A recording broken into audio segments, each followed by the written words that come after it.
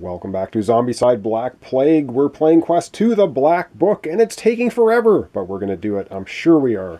We have Baldric's bumbling band of adventurers, uh, powered up, geared up, and making their way down into the vaults. Hopefully this episode to at least steal one of the vault artifacts, possibly two.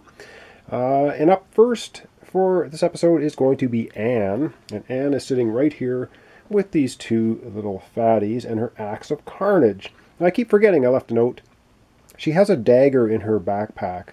Uh, not in her backpack, in her armor slot, which she is allowed to carry, which lets her roll plus one die on attacks. So she should be rolling five dice on attacks instead of four. I keep forgetting that. So let's have her do that. Uh, she's in the orange zone. She gets one free melee action, which she will take right now, and use her Axe of Carnage on these two fatties. And she gets a 4 and a 5, and that's enough to take down the two fatties, um, which is not an issue for Ann, apparently. She's pretty good at slaying everything. She's up to 38 experience, getting close to 43, which will put her into the red zone uh, which Nelly is already there. So now that was her free melee. She actually has uh, four more actions. And so for her first of four actions, she's going to do Bloodlust, jumping right into the center of these five walkers, because that's what Ann does best. Kill things. All right, so that's her first of four actions, Bloodlust, and she gets two hits. Well, okay, Two walkers go down. Uh, that's going to put her up to 40 experience. Oh my god. She still has three actions remaining. She gets three more hits, which kills all three of those walkers. And she is now into the red zone. Oh my goodness. So, she still has two actions left, and she gets another ability. She can either get a free combat action plus one die to roll, plus one dice roll on combats, or six roll a six plus one die combat. Uh, oh, if she rolls a six, she gets plus one die, uh, plus one to her combat. uh, plus one die roll six. Uh, I'm gonna give her. Oh man, I'm gonna give her the plus one free combat action because uh, she's got that Axe of Carnage. It's really good for her to just kill everything. So she has, I think, two actions left. And with her two actions left, she's going to move one space here and she's going to try to open the crypt door. Uh, and this time she's just, whoops, rolling four dice as I destroy the place. Uh, because you don't get the uh, bonus melee attack uh, combat attack for opening doors. So she's opening the crypt door with her Axe of Carnage, and she does it. So it's open. Uh, and do we... Uh, so she opens it. Actually, you don't need to open crypt doors, do you? You just go through them into the crypt. Um, okay, she has one more action. Let me just check that rule. I don't know why I'm... My brain is uh, turned off here for crypt. I think you just go into the crypt I don't think you actually have to open the crypt door. If you have to open the crypt door, then she's done it. Uh, which I think she has to. But let me just double check that. And then all we'll right. right. Yes, back. vault doors are opened just like any other door. And I should have had all of these vault doors instead of having them this side, which is the open side, they should be on the closed side until you open them. So I apologize for that. I've had that open. The entire game, they should have all been closed. So that was Ann's final action, opening the vault door. Now, zombies don't spawn in the vaults. They can move through the vault, but they don't spawn there. So that's basically the end of Ann's actions. Up next is Baldric. And Baldric uh, says, Thanks, Ann, for opening that door. And I have the crypts right at the very top of the playing area here. So pretty kind of hard to see. Baldric, does he have any free move actions? I don't think so. He has the free magic action and four actions. So for his four actions, he's going to go one, two, three down into the vault. Four is going to pick up the first vault item, and it's the King's Mace. Uh, vault for each friendly survivor at range 0 to 1 and within line of sight, get plus 1 die for all melee actions involved uh, with this weapon. A 3 plus. Holy man. And it does too Well, he, um, he's going to put the hammer in his backpack and he's going to use that instead because that's pretty powerful. It basically has the same hitting power as a hammer but hits on a 3 plus and you get plus 1 die for each ally uh, within 0 to 1 in line of sight. Wow, that's pretty awesome. All right, that's it for Baldric. Way up, he's down in in the vault. Up next is, excuse me, LB the Dwarf. And we do have one Deadeye Walker here that can fire into this zone. So we might want to think about getting rid of it. But LB can't really do much. He has a free melee action only. Um, and I almost think we need to have... Uh, huh. I think we might split up the party. I think we're going to have Ann and Baldric go through the vault, coming into this room with the book. And we're going to have the other um, three head do crowd control in the streets. So I think that's what we're going to do. So LB the dwarf is basically going to go... Oh, this is, gets a little tricky because we don't want to shoot at the dwarf and miss. Um, so he's going to go... I don't know what he's going to do. Does he have any ranged capability at all? He has Mana Blast, which doesn't do... Well, it can get rid of the Deadeye Walker. So he has Chain Lightning.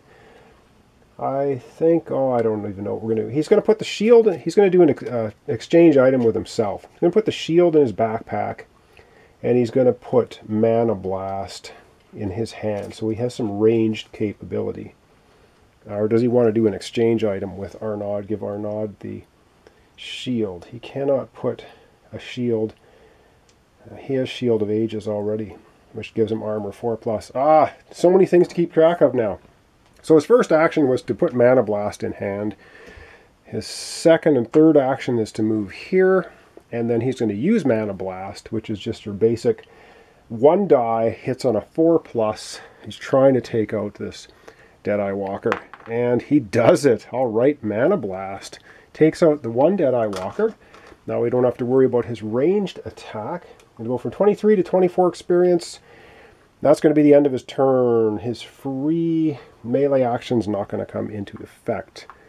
Uh, up next is Nelly with the Chaos Bow and plenty of bolts. Well, Nelly's going to take her first shot into the crowd. So she's doing crowd control, rolling four dice with that Chaos Bow, hitting on a 4+. plus. If she gets all hits, it's Dragon Fire. Oh, wow. And so she gets two hits. She has plenty of arrows she can re-roll, but she'll take that two hits. Excuse me and she has a free combat action, which we will call that her free combat action.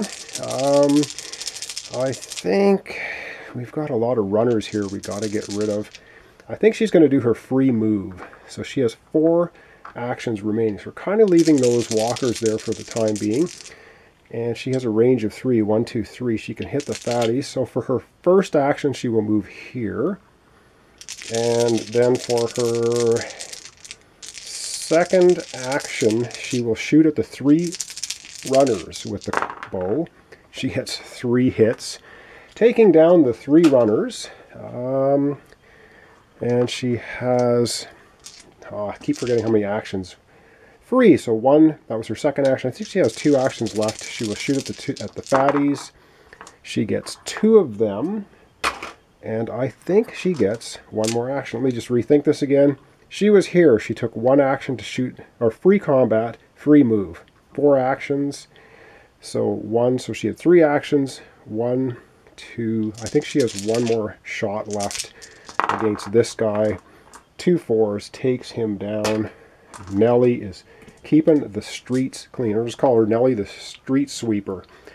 All right, that was Nelly. Up last is Arnaud. And Arnaud is also in street cleaner duty.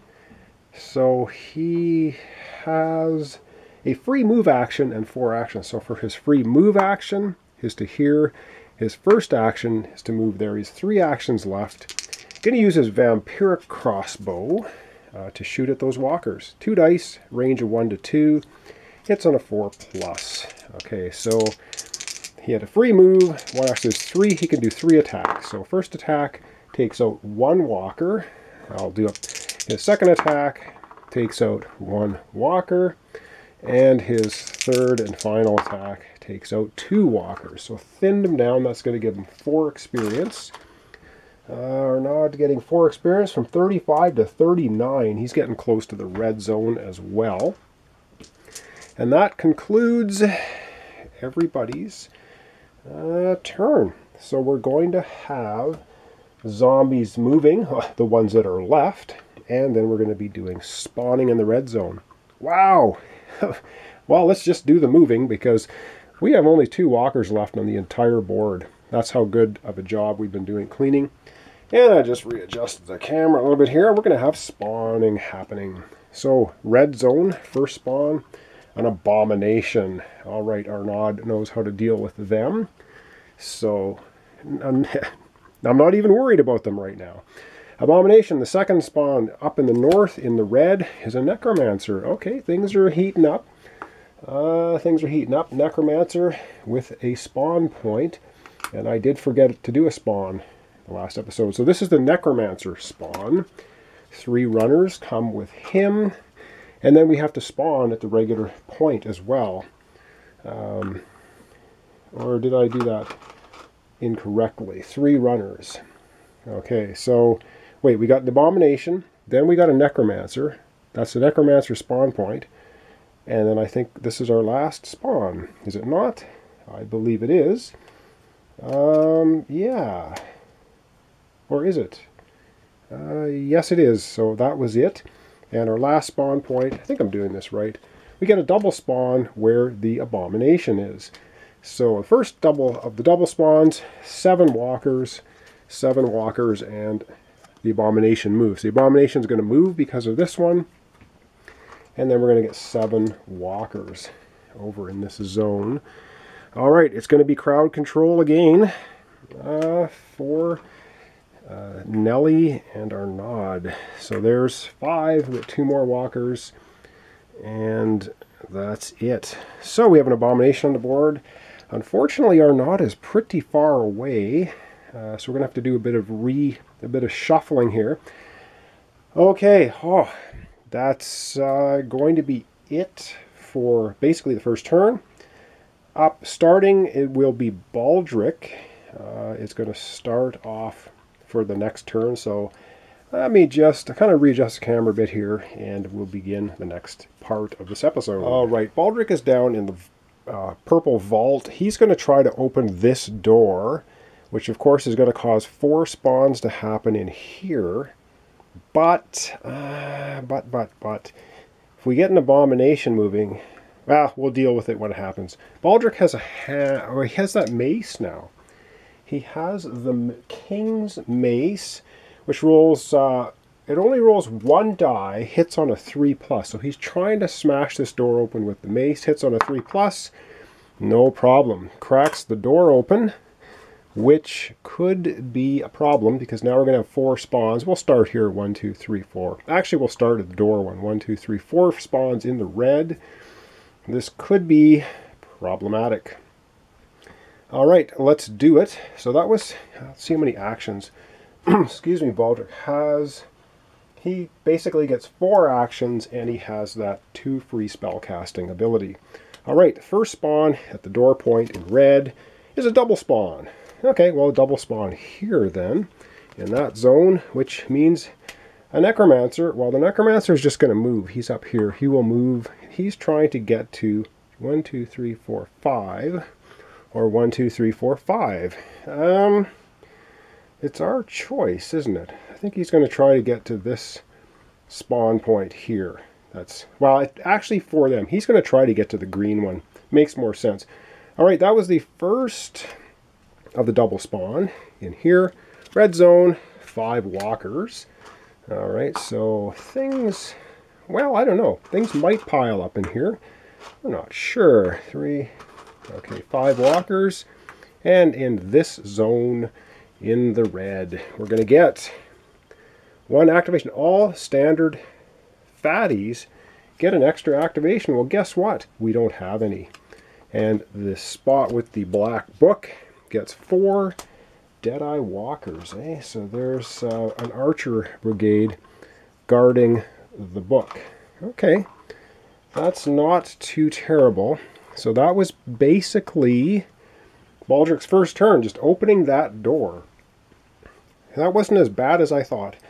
Baldric's second action then is going to be moving up into this room. And from here, uh, he has two actions left, and he has two free spellcasting actions. With his two free spellcasting actions, he's going to start by shooting at these guys with Disintegrate, rolling three dice, hitting on a 5+. plus, And he gets one Deadeye Walker out of that. That was his first of two free magic actions. He's up to 33 experience. He will attack them again, and he gets one more. Uh, Deadeye Walker, going from 33 to 34 experience. And now he has two actions left, so he might as well keep shooting at the Deadeye Walkers. Come on, Baldric gets one. And he still has one action left. For Disintegrate, come on, Baldric, get rid of him and he gets rid of the last guy. So that's two more experience, 34 up to 36.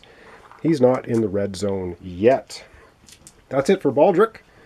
Okay, up next is LB the Dwarf. LB the Dwarf doesn't like having an abomination staring him in the face, so he is going to back off one, and I think he gets a free melee action. So he has four actions. Oh man, I don't even know what to do with him. Um, I think we're just going to have him go one, two, three, four. He'll go in here. He'll go down with Ann. We're going to leave Arnaud and Nelly out in the street for uh, cleanup duty. Up to Nelly's turn now. Nelly has that nice little chaos longbow. First thing she's going to do is her free move. She has a free combat action. She's going to shoot at the Necromancer and the two walkers. So her free combat action. She gets two hits, taking the two walkers out. She now has four actions, so she'll shoot at the Necromancer, and she gets him. So the Necromancer is done. The Necromancer's spawn point goes away, and uh, she has two actions remaining, so she's going to go one action here, and her final action is to shoot at the three runners up here. She has the range to do it. And she's going to re-roll all those dice because she has plenty of arrows. Come on, Nelly Chaos Bow. One, two, three hits. All three runners taking a dirt nap permanently. All right, that was Nelly. Wow, street cleaning, no problem. Arnaud gets to go next, and he has the nice vampiric crossbow, which is a abomination slayer. Uh, range of one to two. Unfortunately, he's all the way up here. Uh, but he has a free move action. So free move action. And then he has four actions. So one, two, and he's going to shoot twice at the Abomination with the Vampiric Crossbow. And it hits on a 4+. plus. So can he take down the Abomination? Well, let's find out. Uh, not with that, but he has plenty of bolts. So with plenty of bolts, he gets to re-roll. So we are we are not doing badly. So he gets to re-roll, and he still misses. All right, his final action. He's got to get one hit here. He does. The Abomination goes down. That gives him five experience points. That just pushed him into the red. Oh my god, which means he gets another ability. Um, he's going to take the free combat action. They're out here cleaning up the streets. He gets a free combat action, uh, but he's out of range of everybody. So that's going to be the end of Arnaud. Up next is Ann with the Axe of Carnage. All right, I think her first action is going to be Bloodlust. Uh, well, no, it can't be. She's going to go one to move down into the vault. Her first action her second action, I think, to move one, two spaces is Bloodlust. So her second action is Bloodlust. She gets to roll five dice. Oh my god. One, two, three, four hits. That was her um, second action. Her third action will be to uh, chop at this guy with her axe and takes him down. Uh, she's also in the red now her Nelly. Everyone's in the red almost except LB the Dwarf. And her final action is to move, I guess, over here with the door. And that's the end of... Uh, wow. I don't see how we're going to lose this scenario. Earlier on in the series, I thought, my God, there's I don't know how we're even going to survive. And now it's almost turning into a bit of a cakewalk. So I apologize. I suppose it's a little bit boring. But we're going to...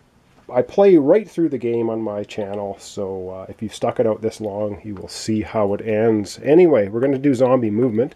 Uh, and because all these walkers are shambling down the street. That's all that's left. We've killed everything else. We're going to see if we can end this series with everybody in the red. So we need LB and uh, Baldric to uh, to do some more slaying, but I don't think LB is going to get the chance.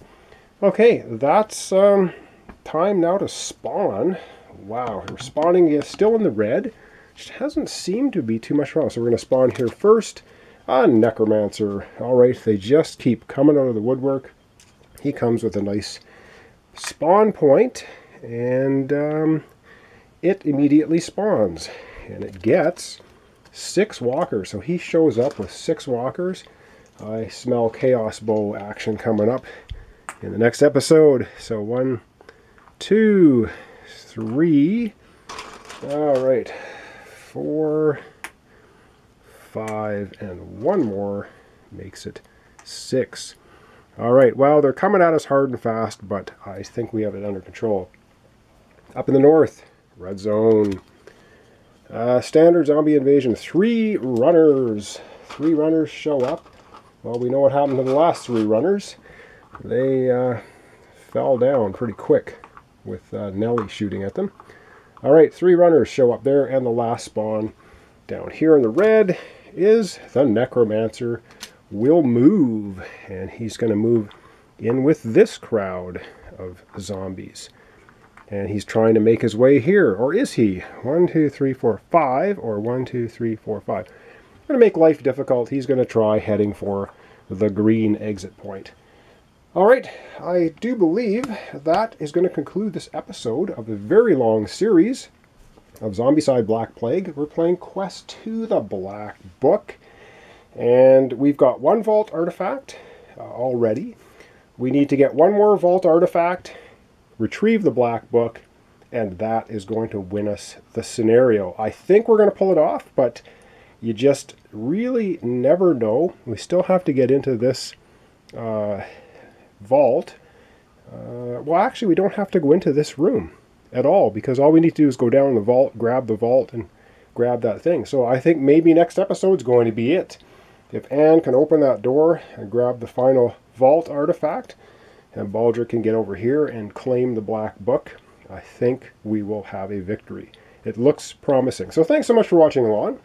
Once again, Zombicide Black Plague Quest to the Black Book with Baldric's Bumbling Band, who've done pretty darn well, I think. And uh, so thanks for your uh, subscriptions, your likes, your comments. Really appreciate it. This is Zombicide Black Plague the Black Book. So thanks so much for watching along, and we'll catch you next time in the conclusion.